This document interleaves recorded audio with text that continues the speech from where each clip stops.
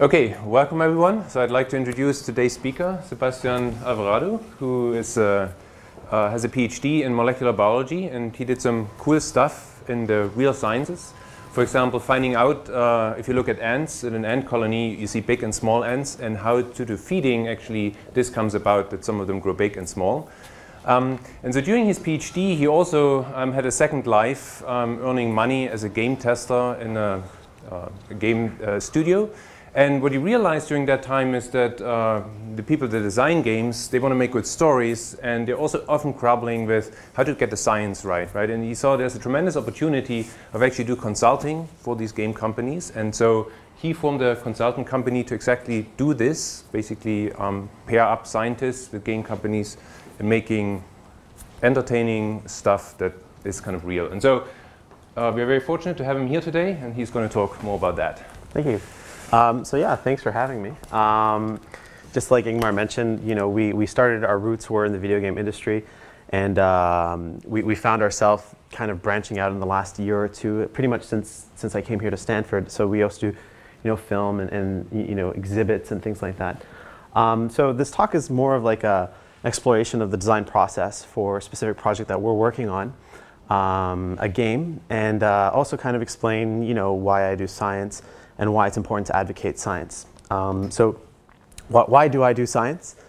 Um, at a very young age, it was pretty straightforward. Uh, I wanted to make dinosaurs and have superpowers. Um, there's something you know really kind of interesting about this because most people won't admit this. Uh, maybe this is the truth, maybe it's not. But for me, the very very early age, it was all about science fiction. Uh, my investment into science was based off of science fiction. There were incredible things that existed in this space, um, and I thought that they could come true. Um, but more to, to my disappointment, I, I, did learn more about the scientific process and, and what it takes to actually you know, get through that. And it pretty much came down to three very important themes for me. Um, I had my curiosity, I had questions I wanted to ask, and I wanted to figure out how to answer them myself. It was the technology that allowed me to answer these things. And, uh, and thirdly, it was, it was the, the possibility of discovery, um, to find something that nobody's ever found before. It was my own form of you know, treasure hunt and, um, and reward. And you know, this is pretty much what brought me through my, my own career uh, in science. So doing molecular biology, studying ants, fish, um, you know, cancer and things like that. Excuse me. Um, but more, more specifically, you know, it also introduced me to this journey that maybe some of you are very familiar with, um, and it's the idea of, you know, seeking out academic And, and there's this nice little figure that you know came up. I'm sure people got in their email boxes a while ago, talking about what it is to get a PhD. And I kind of want to bring it to you and show you that you know if you were to consider this circle the whole amount of human knowledge that exists, um, this is about how much you get after grade school, how much you get after middle school uh, and high school, how much you get at the undergraduate level, so kind of increasing your, your broad knowledge. Maybe you minor in physics or biology, so you kind of you, you, start focusing, you start reaching out a bit more. Perhaps you decide to do a master's degree. You, you kind of want to focus in and, and familiarize yourself with your, your field. Um, and then you catch up on all the scholarship that's required and all the work that's done in a specific field, specific point in time, or across all of our history. And you, you, you become you know, the expert. I know everything there is to know about molecular biology, let's say. And then you invest yourself into the actual process of increasing that knowledge base. And then, you know, you push, you push, you push, and you make a little bump in, in that circle, and you call that a PhD. Um, and, I, and, you know, I, I, did this, and I really enjoyed, well, I didn't enjoy it. uh, I thought it kind of sucked. But I really, um, you know, value what I have now because of that, and, and the knowledge that I, have kind of gathered from all of this. Um, this, was, this was kind of my dent. And uh, there was something that I realized that a lot of people kind of end up getting it. Other people, you know, don't want to do it because they don't want to waste that time. Um, but for me, it was something very different. I like doing it and I want to do it because I felt that in a very silly level, I was at the level of the cells. I was interacting them. I was holding them in front of me. Um, I could see them dancing with each other when you know cancer was happening, when development was happening. So for me, it was something more tangible that I felt when I was studying biology. And it actually had nothing to do with school or you know, taking courses and getting grades. Um, so my dent, my dent was this. My thesis project was about breast cancer, but if you really want to read the title, it's the methylated DNA binding domain protein 2 coordinate silences gene expression through the activation of microRNA, HSA, miR496 promoter, in the breast cell cancer line. Um, yeah, so I, I didn't know what to think of that. You know, even today, I, I kind of look at this paper and I'm like, oh, you know, that's good. I, I made my dent. It, it's important for me. And then, of course, um, four people on, on PLOS saved it. That, that's good. Um, and, and I got 1,394 views, which also made me feel, you know, oh, maybe my work is important. And it probably is. I mean, there's no denying that we need to do this type of work. It's important. And we need to kind of find these small connections in what is a very large spider web of understanding a given disease or understanding bi biology in general.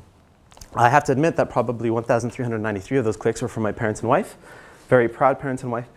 Um, and as you know, Ingmar had mentioned, I kind of then got sidetracked in, in this little project, which was seeing how the entertainment industry perceived science. Um, it kind of sucked. Um, there are good examples out there, but for the most part, it's not that they want to make these unbelievable you know, science fictions that have no basis or premise or anything whatsoever that would make them even plausible. Sometimes that's not the point. But sometimes they just weren't informed. Um, they didn't have that type of knowledge base to, to explore and do properly. Um, so we kind of started doing you know, science for entertainment. Um, there was one video that we did for a specific client. Uh, we did this with Victory Hill and Marvel. Um, maybe you've heard of Marvel, Captain America, and things like that. They wanted us to make the super soldier serum.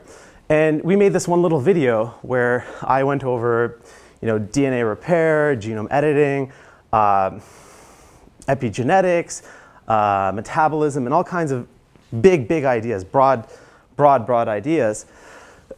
and uh, on the other hand, you know, we got a, about 120,000 views within the first month, um, which was, you know, kind of made me look at my PLOS paper, uh, looking at breast cancer, and looking at this and saying, maybe I picked the wrong career for myself. Maybe I should do this popularizing science and, you know, focus more on that.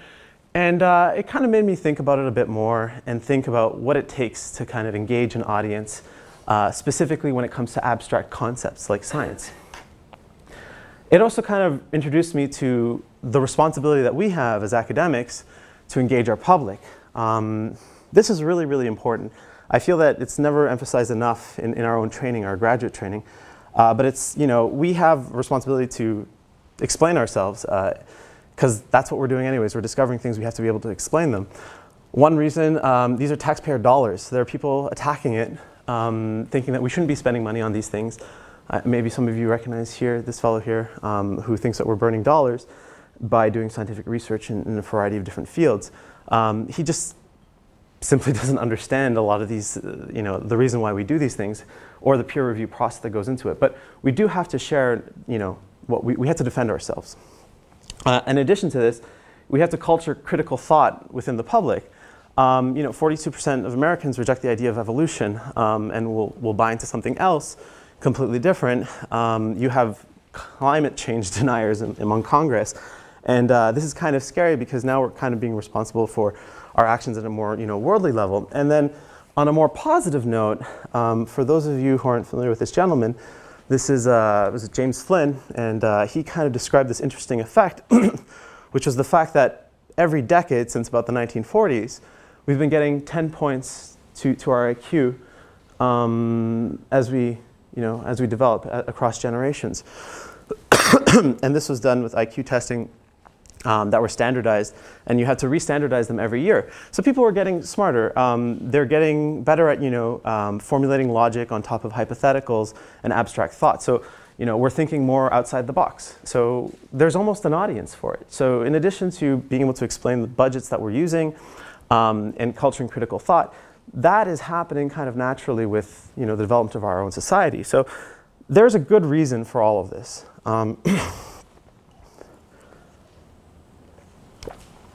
By the way, if anybody has any questions or wants to jump in and yell at me and say, no, you're wrong, Sebastian, go ahead.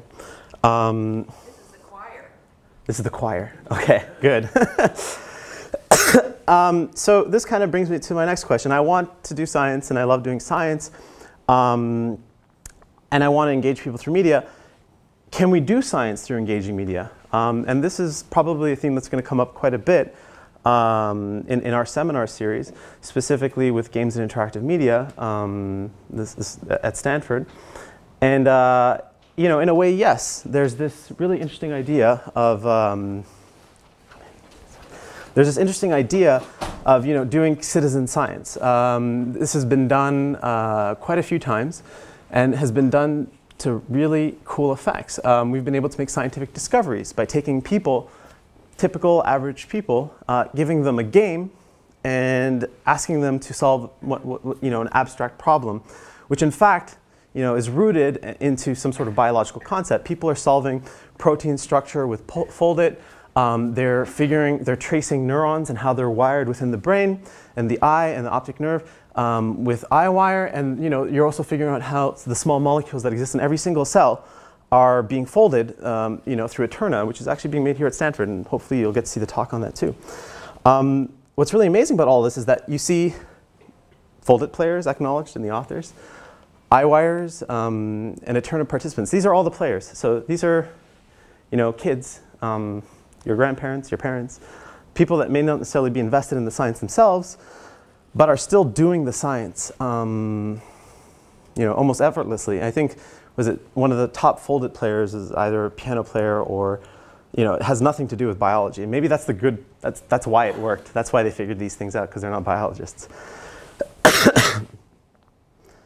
okay, so if I kind of bring you back to that figure that I showed you a bit earlier about, you know, what it is to get a PhD and, you know, what it is to do, uh, to, to kind of take that voyage to increase the limits of our knowledge, you kind of find these players that are just having fun, you know, outside of that space. They're playing with these abstract ideas and they're helping us, you know, increase the boundaries of, of this circle. And I, I, think that's just a really wonderful idea. But does that mean that an Eterna player is, you know, a good nucleic acid chemist? Does it mean that a Foldit player is a good biochemist? Does it mean, you know, EyeWires are good neuroscientists? Um, yes and no. In one way, um, they're not necessarily taking the same type of training and rigorous you know, exploration of scholarship and literature that other people are taking. Um, in fact, you know, they're skipping all of that and they're just jumping to the fun part. But on another hand, they are getting a tangible feel of what it's like to navigate a three-dimensional space, or a two-dimensional space even, of, of biology. And, and they do this naturally, intuitively, and, and this is just good game design and, and very interesting um, you know, phenomenon that's kind of happening, and people are picking up on it, and it's really turning into something very fascinating. So you have this, you have players basically working this abstract space um, that we've built for them, and they're solving questions for us. Um, so this kind of brings me to my next point, which is can we accelerate the learning process through games? So people, you know, learn. Um, I, actually, I would say any game is a learning exercise. Uh, so given that, you know, I'll, I'll, give you one small example here. Uh, maybe it's familiar. I hope it is. Um, it's, it's, Mario. Um, this is, I guess, a lot of people would say, this is, you know, game design 101.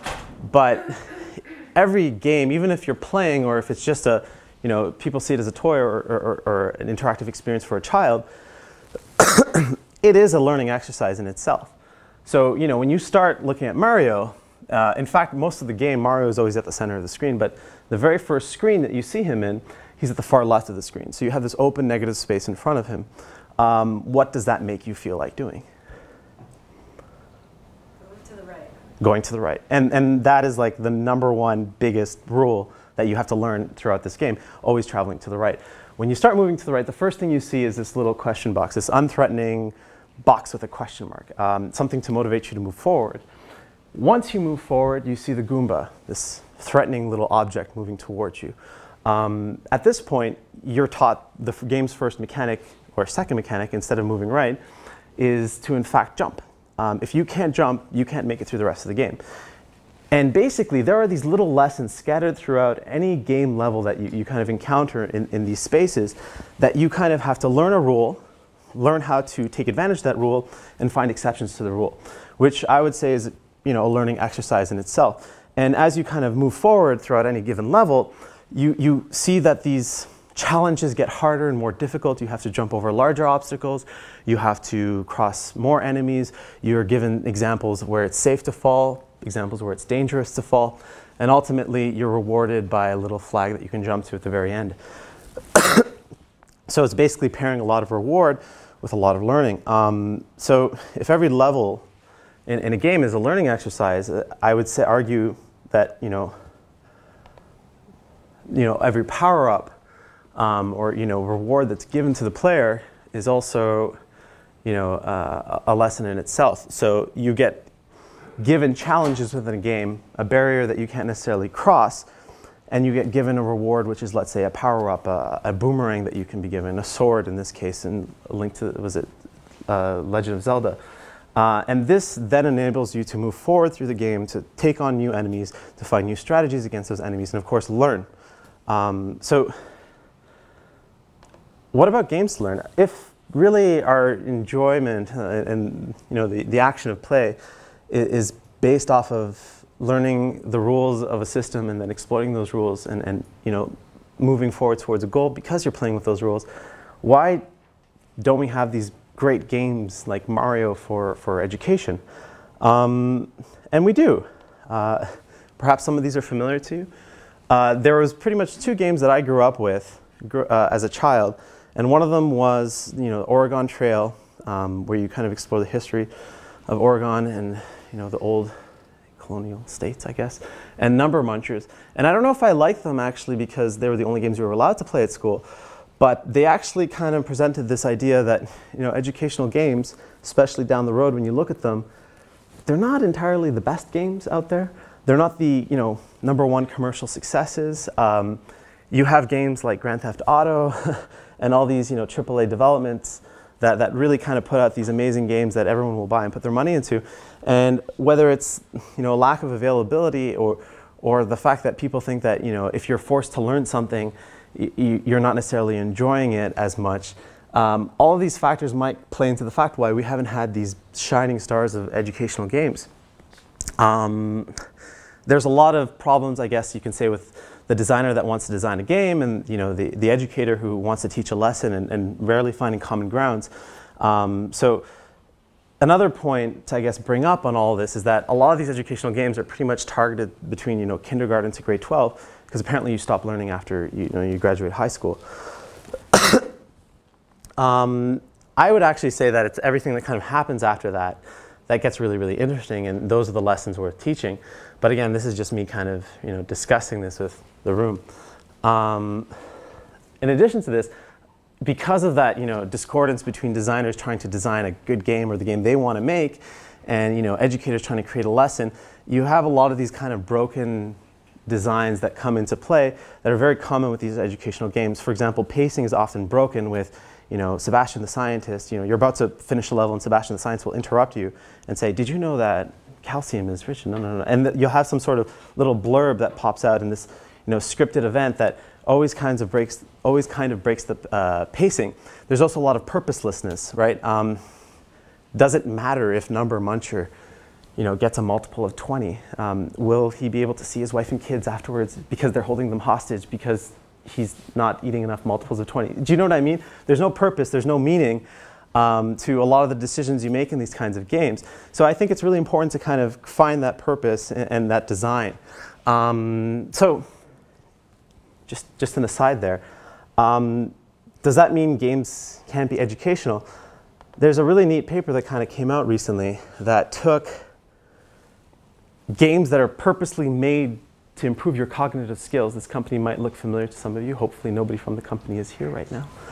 Um, this company that creates these little brain games that help you improve your ability of thinking, um, your cognitive skills, and this really awesome game you, everyone should play this, um, Portal 2, which was really made for the, you know, the hardcore gamer, um, the PC gaming community. Um, and, and they basically found that when you took players and gave them each of these games or each of these exercises to go through, that one game basically excelled at uh, improving a player's cognitive ability, you know, with a handful of behavioral tests, and another one didn't necessarily make any difference at all. And I'll tell you right now, it was, it was Portal. Um, now, Portal is this game, it's this funny um, narrative-driven game where you can control physics within you know these little puzzle rooms. And uh, it, it kind of gave you an example of this is a game that made lots of money for, for Valve. Uh, it's a game made by expert designers, and it was just a good job. um, probably there are some very talented people working at Lumosity, but it doesn't, didn't necessarily deliver the same type of promise that this game didn't even make. Um, so I'll bring you back to maybe one of the reasons why, why I play games. Um, it won't surprise you to fight dinosaurs and to have my own superpowers. But that was more growing up as a kid. Um, thankfully, I grew up and I stopped playing these games pretty much when I finished graduate school. And uh, we're kind of treating games as a new medium. Things have changed. Uh, there are games that are coming out now. One example is Gone Home. Perhaps some of you have heard of it. It explores sexuality and coming of age by letting you explore an empty house. Um, there's this other game called Kentucky Route Zero. Um, it's a surrealist, you know, uh, back highway adventure that's incredibly atmospheric and ambient, and people have been comparing it to, let's say, a David Lynch movie. Um, there's that Dragon Cancer, which is a game that explores what it's like to be the parent of a child who's dying from cancer. Um, and then there's also, you know, probably one of the first examples of these, you know, abstract approaches of making new types of games is uh, the Graveyard, which is actually, you know, a five, 10 minute game where you walk through a cemetery um, towards a bench, and you're this elderly woman. And if you pay for this game, uh, I think you can randomly die across that 10 minute voyage. And really, it explores death and you know, what it's like to be old and, and to struggle with life. And um, it's kind of brought about this idea that we're not dealing with games anymore, we're more dealing with a new medium. And we have to explore the different extremes of, of making games, or not even games, but making interactive media, um, just like we did with music, film, and things like that. so this kind of brought us down in our company and the work that we do down to the fact that we want to make a game. This is an exciting space. We have exciting knowledge. We know things. Um, we're scientists, and we would love to make a game that was pretty scientifically accurate. When we first started working with Thwacke and picking up clients, you know, like Marvel and Warner Brothers and things like that, everyone said nobody wants to have a scientifically accurate game. It would suck because, you know, Mario would die from gravity immediately. He would never be able to jump that high, and, and you know, it would really, really be bad. And then the first reply that came to all of those comments um, was, well, nobody's ever made a scientifically accurate game before. Um, so maybe it would be something worth exploring. Um, so we wanted to take up that challenge. Um, okay, so what kind of game do we want, want to develop? We were a group of academics, so we want to deliver science at a graduate level. We knew that the educational space was largely dominated by half decent games, let's say, uh, from the K to 12 level, but we wanted to start presenting abstract ideas that people maybe have never even heard of before. If they heard about them, they don't necessarily understand. It's a mystery, it's like magic to them. Um, we also wanted to have easily available source material. Um, if we were going to explore a concept in biology, we wanted it to not be this newly discovered disease that nobody's ever heard about. We wanted to explore something that's you know, been rigorously studied beforehand. We wanted to make it relatable. We wanted to affect everyone um, in one way or another. We wanted people to understand it. They wanted, we wanted people to be familiar with it. And more importantly, which is, I guess, you know, the whole topic of, of this discussion, is we wanted to make it conceptually playable and we wanted to take the lessons that we could learn from source material and design games around it. so what did we pick? We picked cancer we wanted to design a game where the player would learn the lesson of walking a mile in someone else's shoes. We wanted the player to basically slowly become cancer in a game that happens uh, in, a, in, a, human patient. Um, is it rigorously studied? Uh, you, you better believe it is. Um, having, come in, having come from the field of cancer, or at least studying at the molecular level, um, you know, you have multiple fields that pretty much intertwine cancer and help us understand it, um, and then a bunch more. Um, so we know that there's tons of source material on this. We know we have experts on this. I mean, I understood at a molecular level, but we know I, like our company, you know, houses cellular biologists. We have neurosurgeons. We have several surgeons actually that are, you know, helping us consult on this. and they're helping us build this experience. Is it relatable? Um, it, there's a social cultural impact for cancer. Um, I think this is probably the best way to illustrate it right here. Uh, if you were to just count the number of Time magazine covers that have explored uh, you know, what it is to be cancer, uh, or not what it is to be cancer, but how humans have dealt with cancer over time. And it brought up something really interesting for our group um, and what we wanted to build. And we started realizing that, you know, in addition to cancer being this very rigorously studied um, disease that we want to answer, we want to understand, we want to solve, we want to cure, uh, it had a lot of very interesting language surrounding it. Cancer was this unstoppable force that we had to wage war against. Um, the war against cancer, I'm sure many of you heard about this before. People demonize cancer. They say it's evil. We have to fight it. We have to win against it. And it, it brought up you know, this interesting discussion between our members of our group where we started thinking that, well, it's not that it's a demon or it's Satan growing inside of you or anything like that. Um, we, felt, we felt that that type of thinking and that type of uh, understanding of the disease actually helps you, well, doesn't help you at all. It, it kind of renders you a bit more helpless to, you know, what, what the disease can do to you and, you know, how you would see therapy. so we wanted to kind of dispel that idea that, you know, this isn't you surrendering yourself to evil or not having control over anything, but it's something that's a biological process, and we want people to understand that. So we started, uh, you know, abstracting the disease so we could design a game around it. Um, one of the first things that we realized we had to do was decide if this was going to be a three-dimensional or a two-dimensional game. Uh, we decided on a two-dimensional plane because pretty much all the cellular microscopy that's been done in the last hundred years uh, has provided us with ample amount of source material. Whether you're looking at individual small cells uh, at a very microscopic small scale level, or you can see individual cells, or whether you're exploring different tissues, um, you can build cancer in any of these. For those of you that are still kind of wondering, it's a matter of growing cells and transforming them, and then having them invade and conquer other types of territory. Um, in addition to this, the availability of histology. So the fact that somewhere there is always going to be a picture of a slice of your flesh, um, not yours, but the slice of human flesh at any anatomical and tissue specific level meant that we had a lot of our level designs figured out for us. We didn't have to work that hard because we knew that if we were going to make a level in muscle, we would have this type of cell structure to follow, to, to obey, and a lot of physics to obey as well we wanted to explore the idea of cancer being dynamic. Um, there's a genre of video games that are actually called 4X, and they're all about exploring, expanding, exploiting, and exterminating. Um, for us, we felt that when you're a single cell and you decide to become cancer and you want to surround you know, a specific tissue or grow or divide, you, need to know that space, so you have to explore it. Um, there's this idea that if you were to zoom in the camera angle to just single cell space, you would be able to then grow within that space. And as you grow, you basically explore uh, and you increase your angle and view on, on uh, a given level. Um, obviously, you have to expand, uh, exploit the way cancer cells grow. They basically steal resources from the rest of your body. Um, and of course, that leads in a lot of death. So we started kind of developing this game design.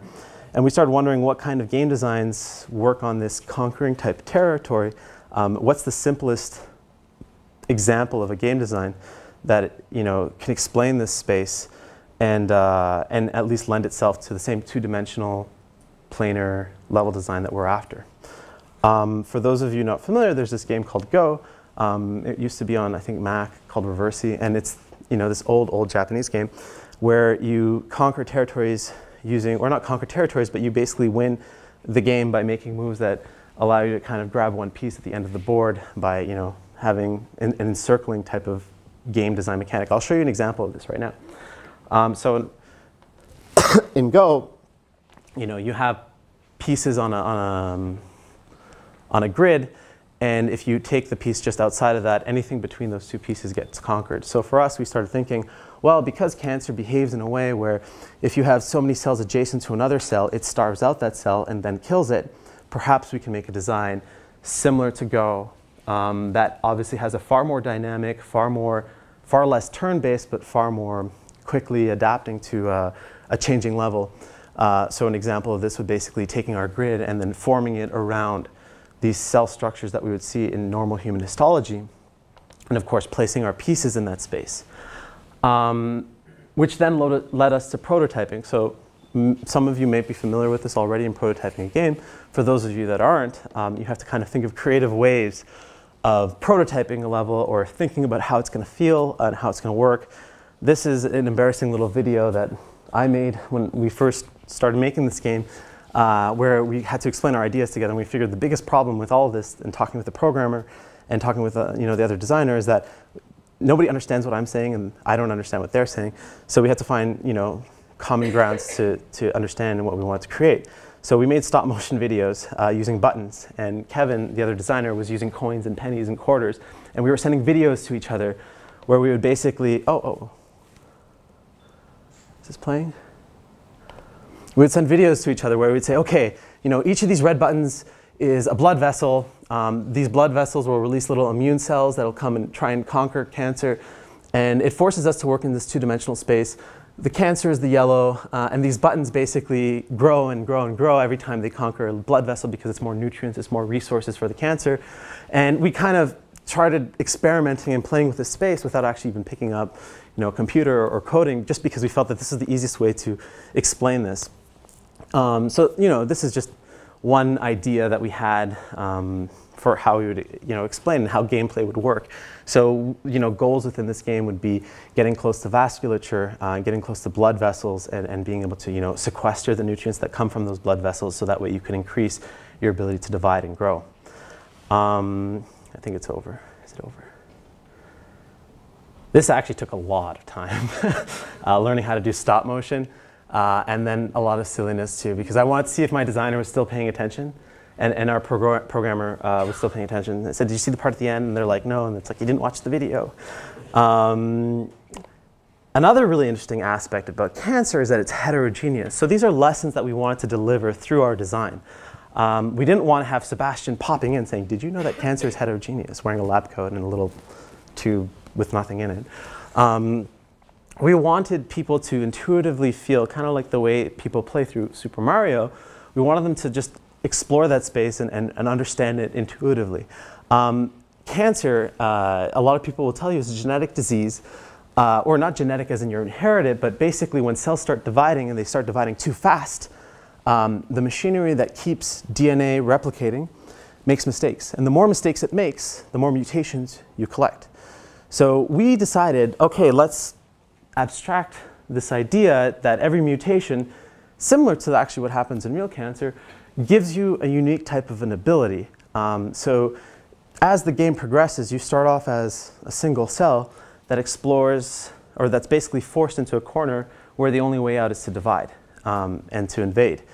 And as this happens, the more you divide, the more you invade, the more challenges you come across that have to do a lot with scaling within a tissue. Um, as you divide, as you grow, you obviously will increase these amount of mutations. So you increase your likelihood in a purposeful way, in a meaning, meaningful way, to develop new types of mutations. Now, these mutations are our power-ups. These are the reasons why we can conquer new types of territories, at least in our design. Um, the capacity to divide faster, the ability to invade, to cross over tissues and cells that you wouldn't otherwise be able to cross over, and of course rate of growth. And there's maybe a list of 10 more of these that we're slowly either tossing or implementing into our game, uh, etc. Uh, cancer is also still very heterogeneous. Um, you can have a variety of different cells that get different types of sizes that can be illustrated in a variety of different kinds of ways. Uh, this is just an example from a paper of how we are approaching the way we'll explore the space in addition to representing the histology that exists within human tissue. Um, and this kind of brings us to next theme that I kind of want to explore, and it's narrative. Um, I mentioned that you start off as a single cell. Um, most of you start off as a single cell as well. Uh, we figured there was an extra opportunity to teach lessons about cell biology. Um, when you take something like a stem cell, we decided you're going to be a stem cell. You're going to be an individual cell that has the potential to become all of these other types of you know, cell lineages and derivatives. But you would be given the unscientific here. Uh, I have to you know, protect my own career as still being a scientist by saying this is not scientific. But the ability to de-differentiate and move in and out of the abilities that are presented to you early on in the game. What we wanted to do is explain to the player, well, you know, this is what biology is like in a normal human being. Um, you start off as a stem cell, or let's say, you know, the player will start off as a stem cell, but stem cells start in your body and have the ability to become different cells in your body with different functions. And we want the player to explore what each of these functions are, specifically in the immune system. We want to know what it's like to be a T lymphocyte, a B lymphocyte, to produce antibodies and cytokines, things that, you know, attack an infection or if a tumor starts to grow, to attack the tumor. So we want to introduce them in basically the first act, regular cell biology. We want to introduce them to the environments they'll be playing in. We also want to introduce them to what ultimately becomes their enemy. Um, these are the cells you have to fight against at one point, and you will know how they work by playing through the first act. Again, giving purpose and meaning to these things. Um, the second part, obviously, is the first act is kind of just exploring what it's like to be, a, you know, multipotent cell. Then you get cornered. Um, the idea of getting cornered is that we introduce the game mechanic of being able to divide um, without a cap. So being able to divide to, let's say, get out of a tough spot. Um, usually when a cell's purpose is fulfilled and they have nothing else left to do, your, your body will, will kill them. You know, you'll, you'll have cell suicide and, and this is a normal process. But a player doesn't necessarily, a player wouldn't identify with what is regular cell death, um, if anything, um, it makes sense to the motivations of somebody playing this game to actually survive and to explore what it is to divide and to grow and proliferate and survive more than anything else. Which is when we start taking that turn towards what it is to be cancer. Um, you transform. Uh, you, you get this ability to form a tumor, to grow this large cell mass. And in doing so, you start collecting these little mutations that can then form larger and larger cells. Now there's an extra mechanic built into all of this. When you have to manage more and more cells, it's far more difficult to assign them more and more functions. There's micromanagement issues, which is part of our mechanic. We want to make this game more difficult as you become a more aggressive cancer. We want to empower you more, and we want to give you bigger challenges. And then, of course, Act 3 um, is chemo. Naturally, any patient undergoing any type of growth or cancer um, would have to eventually come to this chemotherapeutic stage where they have to be given drugs. Uh, drugs which, in fact, target all of the, ability, all of the abilities. Uh, each of these abilities that we want to develop through different mutations can be easily targeted by each of these drugs. So just like we gave you these powers, we found an easy design mechanic where we would have drugs that actually exist that target cell replication, that target the ability to grow, that target the ability for a cancer cell to, let's say, get, the, get to the vasculature of a cell, and take away that power and challenge them. Um, so this is kind of this is kind of what we're doing right now. Um, we're building it. I can show you, you know, a quick tech example of, of you know what we've built so far. Um, it's nothing particularly fancy. In fact, most of these games at their very early stages are kind of rough around the edges. But uh, you know, we've started exploring it. More than anything, we want to map out the physicality of the space, so what it's like to be a cell that needs to explore space, uh, really get a feel. That's what I want people to do. I want them to feel what it's like to be a cell, um, what it's like to be, let's say, a tumor that needs to cross over space. Um, what it's like to be these cells after metastasis and after they've gone into the blood and after they start circulating in your, in your, your blood vessels, and what it's like to basically you know, interact with all these other aspects and the physics that exists within inside every single tissue. I don't know what Radosh did there, but um, it's, it's basically exploring that space. So understanding it from a very completely different angle, but in the same way, giving you the journey that gets there and in itself being a lesson in what it is to be a cell, what cell development is, and also um, what, it's, what cancer is uh, for that fact. And I'll just end on one last part, and it's basically the art. Um, it's important for us that the game's very pretty. First thing that we wanted to nail down was the physicality of the space that we want to explore. The next thing is the art. Um, so I'm going to show you kind of an example in these types of lessons that I want to create. Um, have any of you heard of immunofluorescence, hands up? There's a, there's a few of us. I, I know there's some biologists in the audience. Immunofluorescence is this technique that we use to label different parts of the cell. Um, we'll have a specific protein that we're interested in, let's say on the surface of a cell, and we'll develop an antibody with a small fluorophore attached to it. So this is something that will give off light uh, that will stick to it. So what you can do is you can molecularly label little parts of the cell, um, and they will glow for you if you hit them with different types of light. Um, there's a lot of different ways you can play with this. We do it in the lab all the time. Um, I could explain this to you like I just did, like anyone would um, in, in a you know, university classroom about cell biology and things like that.